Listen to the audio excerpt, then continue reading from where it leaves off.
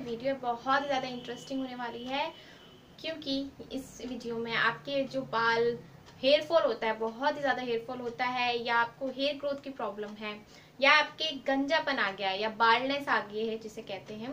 जैसे बाल झड़ते झड़ते आपके बाल बिल्कुल खत्म हुए, गंजापन आ गए हैं तो वहाँ पे भी आपके बाल रीग्रोथ हो सकते हैं। तो ये वीडियो पूरी ज़रूर देखें एंड तक। और मेरे चैनल पे आप नए हैं तो फटाफट से चैनल को सब्सक्राइब कर लीजिए एंड वीडियो को लाइक भी कर लीजिए। फ्रेंड्स वीडियो स्टार्ट करते हैं। तो फ्रेंड्स ये वीडियो है जिसमें हम आपको, मैं आपको बताने वाली हूँ कलौजी ऑयल के लिए। कलौजी ऑयल के बारे में। कलौजी के बारे में आपको पता होगा कि मैंने पहले भी और भी वीडियो बनाई है। कलौजी मतलब होता है ब्लैक क्यूमिन सीड्स जिसे ब्लैक सीड्स भी कहते हैं, जिसे काला जीरा भी कहते हैं, जिसे मंगरेला भी कहते हैं, जिसे कलौजी भी कहते हैं। और मैंने आपको इतने सारे बता दिया है आपको इतने सारे नाम बता दिए हैं। आप किसी न किसी नाम से तो आप जानते ही होंगे, उसकी पिक भी आपको शो हो रही होगी, क्या होता है ये?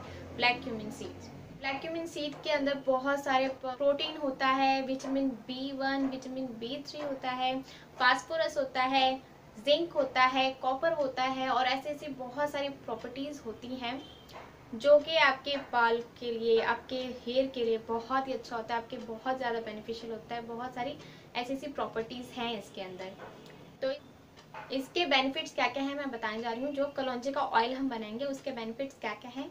तो उसका फ़र्स्ट बेनिफिट है स्कैल्प के हेल्थ के लिए। मतलब आपके स्कैल्प में कोई भी प्रॉब्लम हो इचिंग हो इरिटेशन हो, या इन्फेक्शन हो डैंड्रफ हो, जैसे डैंड्रफ हो जाता है रेडनेस हो जाती है रेड पैचेस आ जाते हैं या आपके लाइस भी हो, अगर जुए भी हो, इन सभी चीज़ को ये रिमूव करने में हेल्प करता है जो कोलंजी का ऑयल होता है। क्योंकि कोलंजी के जो ऑयल में anti inflammatory and anti bacterial and anti fungal ऐसे ऐसे प्रॉपर्टीज़ होते हैं, जिससे आपके बाल, आपके स्कैल्प जो है बिल्कुल हेल्दी रहता है। सेकंड बेनिफिट है, आपके हेयर ग्रोथ को प्रमोट करता है। हेयर ग्रोथ के प्रमोट के लिए हेयर ग्रोथ की प्रमोट के लिए जो कलौजी का ऑयल होता है, कलौजी के ऑयल में ऑयल में एक लिनोलेइक एसिड होता है, जिसे आपके हेयर ग्रोथ में प्रमोट करता है। जो आपका हेयर ग्रोथ है, उसको प्रमोट करता है, आपकी हेयर ग्रोथ बहुत ही अच्छी हो जाती है। और आपका हेयर फॉल है हेयर फॉल को भी कंट्रोल करता है, यही यही लिनोलेइक एसिड जो है, वो आपके हेयर फॉल को भी कंट्रोल करता है, आपके बाल झड़ते हैं, झड़ते झड़ते अगर आपके बाल बाल बिल्कुल गंजापन आ गया है, आपका बालनेस आ गया है तो वहाँ पे रीग्रोथ को भी प्रोवाइड करता है, आपके बाल जो है, नए बाल आना स्टार्ट हो जाते हैं, और आपके साथ ही ये आपके ग्रोथ बेनिफिट है, जो आपके प्री मेच्योर जो हेयर ग्रेश हो जाते हैं व्हाइटिश हो जाते हैं उसको रिमूव करता है। धीरे धीरे ये ब्लैक करने में हेल्प करता है। आपके बालों को घना बनाता है। फिफ्थ बेनिफिट है कि आपके बालों का कंडीशन करता है। कंडीशन बहुत ही अच्छे से करता है क्योंकि जो आपके अगर बालों में ड्राइनेस है फ्रिजीनेस है, अगर बिल्कुल झाड़ू जैसे बाल हैं रफ से बाल हैं, उसको ये रिमूव करके कंडीशन करता है सॉफ्ट बनाता है बाल को। सिक्स बेनिफिट है ये जो लिनोलिक एसिड है कलौजी ऑयल में जो होता है, उससे आपके बाल का जो स्कैल्प है, उसका ब्लड सर्कुलेशन बहुत ही ज़्यादा इंक्रीज हो जाता है, क्योंकि ब्लड सर्कुलेशन से ही आपके फॉल हेयर फॉल रिमूव होता है, आपकी जो हेयर ग्रोथ है, वो भी प्रोवाइड होती है हेयर ग्रोथ प्रमोट होती है, इसलिए ब्लड सर्कुलेशन बहुत ही ज़्यादा ज़रूरी है आपका इंक्रीज होना। तो ये जो कलौजी का ऑयल है, उससे आपका ब्लड सर्कुलेशन ज़्यादा इंक्रीज हो जाता है। तो फ्रेंड्स आपके, आपको इसके बेनिफिट्स पता चल गए होंगे। तो चलिए देखते हैं इसे बनाना कैसे है। इसे बनाने के लिए मैंने लिया है वन टेबल स्पून कलौजी, देख सकते हैं आप। और वन टेबल स्पून मेथी दाना लिया है। मेथी दाना तो आपको पता ही है कितना ज़्यादा, कितना बेनिफिशियल होता है आपके बालों के लिए। बहुत सारा इसमें प्रोटीन होता है, जिससे आपके डेंड्रफ रिमूव होते हैं अगर इची स्कैल्प है, उसको रिमूव करता है, बिल्कुल ठीक करता है, आपके हेयर ग्रोथ में प्रमोट करता है हेयर फॉल को रिड्यूस करता है। तो इसलिए ये दोनों चीज़ें ली हैं मैंने। दोनों, आपने वन वन टेबल स्पून लेना है। दोनों को थोड़ा थोड़ा क्रश कर ले।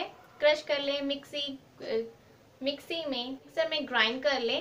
थोड़ा सा ये रफली हो जाएगा। पाउडर टाइप का तो नहीं होगा, लेकिन थोड़ा सा क्रश हो जाएगा। कूट लें मतलब। अगर आपके पास ना हो तो कूट सकते हैं किसी चीज़ से।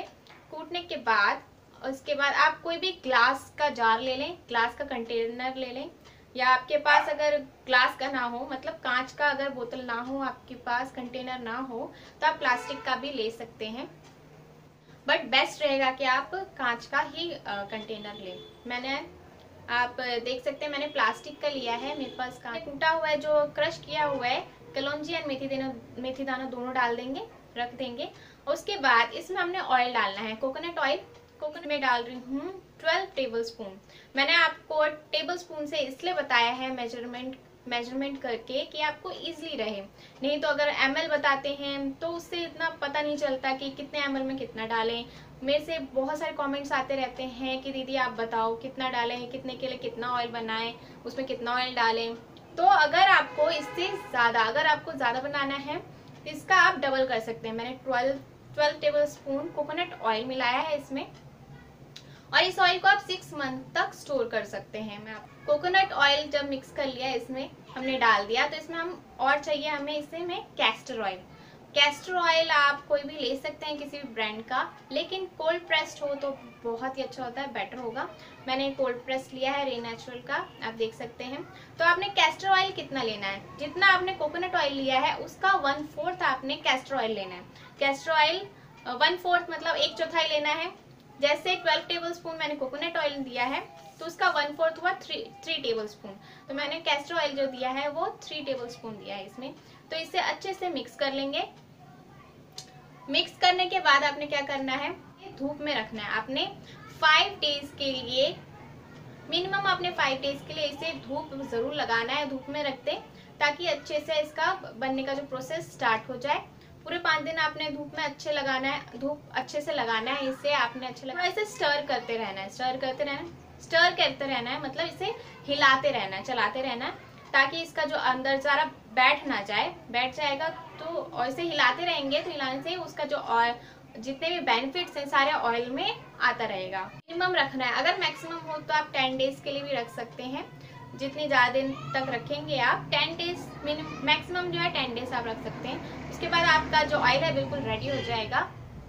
फिर अगर आप चाहते हैं तो इसे आप छान सकते हैं। टेन डेज़ के बाद इसे छान के आप ऑयल अलग करके निकाल के रख लें। बट मैं प्रेफर करूँगी कि आप जो ये जो ऑयल जो कलौजी एंड मेथी दाना लिया है हमने, उसको इसी तरह एज इट इज़ इसके अंदर ही रहने दें, क्योंकि वो नीचे बैठ जाएगा। उसके बाद जो ऊपर से आप सारा ऑयल ऊपर से ले लेके आप लगा सकते हैं। नहीं तो अगर आप चाहते हैं, इसे फ़िल्टर कर सकते हैं, छान सकते हैं। तो ये लगाना कब कब है और कैसे लगाना है? ये आपने लगाना है वीक में टू टाइम्स आपने वीक में दो बार लगाना है। ही हेयर फॉल हो रहा है, गंजापन है तो आप थ्री टाइम्स भी यूज़ कर सकते हैं। तो इसको आपने यूज़ कब करना है? जब आपने हेयर वॉश करना है हेयर वॉश से आप दो घंटे पहले इसे लगाएँगे। अच्छे से आपने स्कैल्प में लगाना है, पूरे स्कैल्प में लगाएँ, पूरे हेयर लेंथ पे लगाएँ, अच्छे से लगा लें। उसके बाद दो घंटे के बाद आपने नॉर्मल शैम्पू से, जो भी आप शैम्पू यूज़ करते हैं, उससे रेगुलर शैम्पू से आप वॉश कर सकते हैं। नहीं तो अगर आपके पास टाइम ना हो तो आप आधे घंटे के लिए मिनिमम एटलीस्ट आपने आधे घंटे के लिए ज़रूर रखना है। आधे घंटा रख के उसके बाद आपने रेगुलर शैम्पू से हेयर वॉश कर लेना है। फिर देखेंगे आपके हेयर बहुत ही अच्छे हो गए। आपकी फ्यू वीक्स के अंदर आप देखेंगे कि आपके हेयर में कितना ज़्यादा चेंजेस आया है, कितने डिफरेंस आए हैं। आपके बाल की जो ग्रोथ है हेयर ग्रोथ भी बहुत ही इंक्रीज हो गई है। आपका हेयर फॉल कंट्रोल हो गया है, डैंड्रफ है, वो भी रिमूव हो जाएगा, अगर आपके बालनेस है। बालनेस में आपके वहाँ थोड़े थोड़े नए बाल आना स्टार्ट हो सकता है स्टार्ट हो जाएगा। जो आपके बेबी हेयर है, वो आना स्टार्ट हो जाएगा। तो आप ये ऑयल ज़रूर यूज़ करें। वर्ल्ड बेस्ट ऑयल है, ये बहुत ही अच्छा ऑयल है। इसे ज़रूर यूज़ करें। और मुझे इसका फीडबैक ज़रूर दे कमेंट में। कमेंट तो फ्रेंड्स आपको वीडियो कैसा लगा ज़रूर बताएँ। आई होप कि आपको अच्छा लगा हो वीडियो। अच्छा लगा तो लाइक करें शेयर करें अपने फ्रेंड्स में रिलेटिव्स में, जिसको भी इसकी ज़रूरत है, ज़रूर शेयर करें। और कमेंट बॉक्स में मुझे इसका रिज़ल्ट ज़रूर बताएँ, क्या फीडबैक है, क्या रिज़ल्ट है वो फीडबैक ज़रूर दें मुझे। और मेरे चैनल को सब्सक्राइब करना बिल्कुल भी ना भूलें। तो चलिए फ्रेंड्स किसी और वीडियो मिलती हैं, किसी नई चीज़ के साथ। Chill then bye bye